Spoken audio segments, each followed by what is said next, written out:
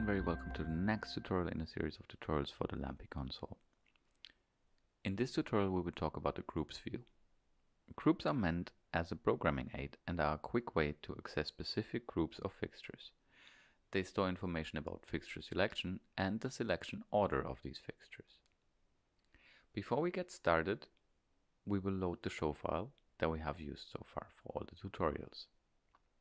From within the home screen, you may open the groups view by either clicking on it or by repeatedly pressing the home button until you reach the groups view. Items in the groups view have different states.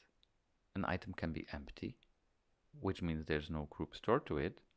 When displayed in a darker color with a name, means that there's a group stored to it. When a group is selected, it will turn orange. Now let's have a look at how to create a group. To create your first group, we switch to the fixtures view and select a few fixtures. Let's turn on the highlight function to see which fixtures we have selected. Now let's store our first group with all of these fixtures. Let's change to the groups view, press the record key and pick an empty group. Now you're asked for a name for this group. In this case, as there's only one fixture type selected, the console will automatically guess that you want to name this group according to the fixture type. When we're happy with the name, we click on enter.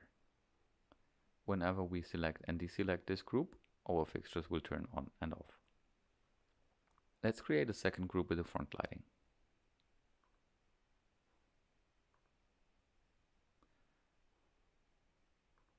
Will call this group singer.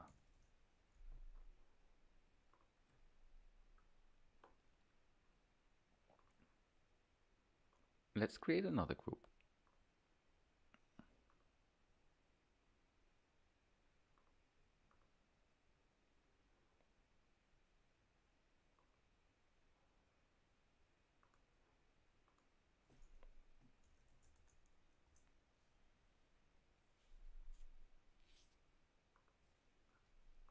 Now let's create a group with all of our roof fixtures selected so that any effects run from left to right.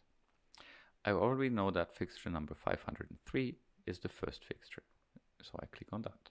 Next is 501, next is 504, 505. We see that this fixture is the right fixture and we click on 506. Now we change to the groups view and record a new group.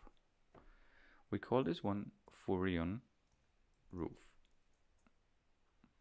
Now let's switch back to the fixtures view, deselect all fixtures and create a group with our floor fixtures only.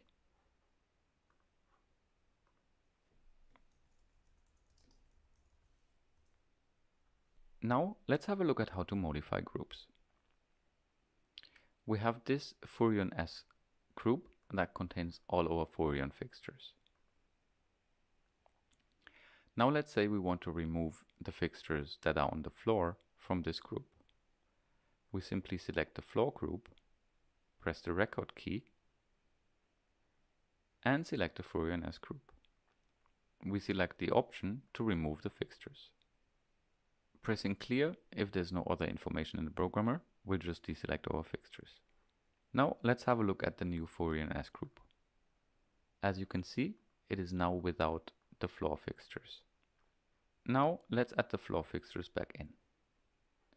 We do so by selecting the floor fixtures, pressing the record button, and clicking the Furion S group. We select merge into group, which will add these fixtures to the existing group.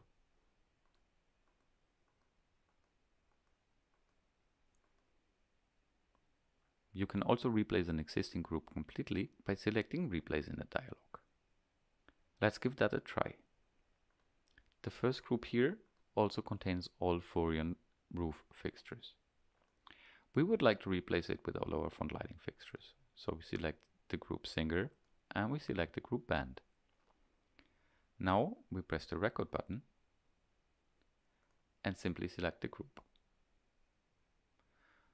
From the dialog window, we click on Replace Group. Now, this group is replaced and contains all of the other fixtures, however the name did not change. You may still change the name of this group by clicking the Name button and selecting the group. You can also copy groups by pressing the copy key, selecting the group and the new destination group. You can edit a group directly by clicking the edit button, selecting the group to set the name of this group or to smart name. Smart name is a convenience function that names the group and names all the fixtures in the group in numerical order after the group. To delete the group, simply press the delete key and select the group item. The console will ask for confirmation. If you keep delete pressed while selecting the item, the console will not display the confirmation message and will delete the group instantly. Whenever you have values set in the programmer for a group, you can remove these values for the whole group by pressing the off button and clicking on the group. You may also move groups by pressing the shift key followed by the copy key and then selecting the group you would like to move followed by the destination group from the pool window. Thank you very much for watching this tutorial and I hope to see you again soon.